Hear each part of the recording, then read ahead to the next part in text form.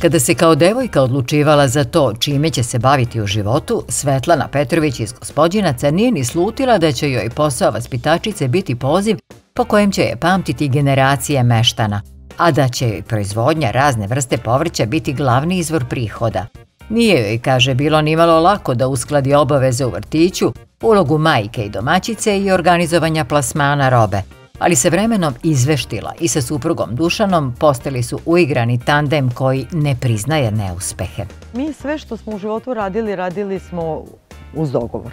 Znači, o svemu se dogovaramo, pa tako je bio i početak svega ovoga dogovor. Uveče kad, kad se dan završi, onda sednemo, onda se dogovorimo za sutra dan, šta smo danas uradili, šta treba da se uradi i, i uglavnom tako funkcionišemo. I moji roditelji su se bavili poljoprivredom a, i onda je bilo šta ćemo da radimo u životu, tako da smo se odlučili da i mi se bavimo i da to naravno sve proširimo. Učili smo od početka, ali smo mi krenuli sa jednim jutrom, pa smo sledeće godine radili 3, pa 5, pa 20 i u hodu smo u stvari sve i učili i naučili.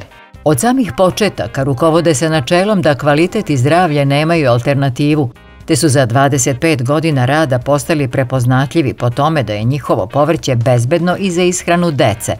Svake godine nabavljaju najmodernija semena i hibride koja su neretko i znatno skuplja, ali to je standard koji su sebi zacrtali i od njega neće odstupati. Sve je to teško proizvesti i luk i papriku i bilo koju kulturu je teško proizvesti ako se ne uzmu dobra semena, ako nije zemlja dobra, ako se ne baci dovoljno veštačkog đubriva ili sve što već ide na njive, znači nema tu posle ni prinosa.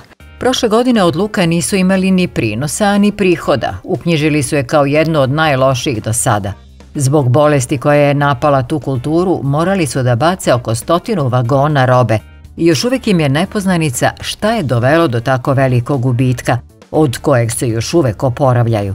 Ova godina je nešto povoljnija. Naš je luk dobar, kod nas je dobar luk, a sad ne znam kod drugih kako će se pokazati, ali kod nas je za sada sve u redu. Na oko 20 hektara, nešto malo više od 20 hektara, koliko ste uspeli da proizvedete ove godine ili je još, još rano još da se sumira? Pa ja ne znam, ja mislim da će biti preko 100 vagona ili koliko će to biti, ali dobri su prinosi. Mi smo zadovoljni s prinosima ove godine. Zadovoljni su i plasmanom, sve ugovorene količine otkupljuju im domaći nakupci, a javljaju im se i trgovci iz Albanije. Nadaju se obimnijem, organizovanijem plasmanu preko zadruga. Mi radimo 25 godina, poznaju nas od Subotice do Leskovca, eto Albanija, tako da nama nije potrebna nikakva reklama. Kad kažu Petrović, svi znaju da je taj Petrović u gospodincima i da sve tu mogu da kupe. Sve vrste paprika i sve što što proizvodimo da je sve to tu na jednom mestu. A na tom mestu ovih dana radi se i na proširivanju skladišnog prostora. Kako smo se uverili, ovaj skladni bračni par koji može da posluži kao uzor mnogim mladima. Snage i ambicija imaju na pretek, ali se i ne zadovoljavaju postignutim i trude se da opravdaju titulu povrtara godine, koja ih obavezuje kako zbog potrošača, tako i zbog njihovih čerki koje su i maksimalna podrška u svakodnevnom radu, a jednog dana možda će preuzeti i ulogu nosioca gazdinstva.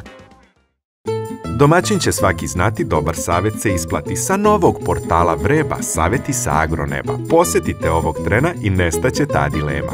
agrosaveti.rs Sajt koji nudi odgovore.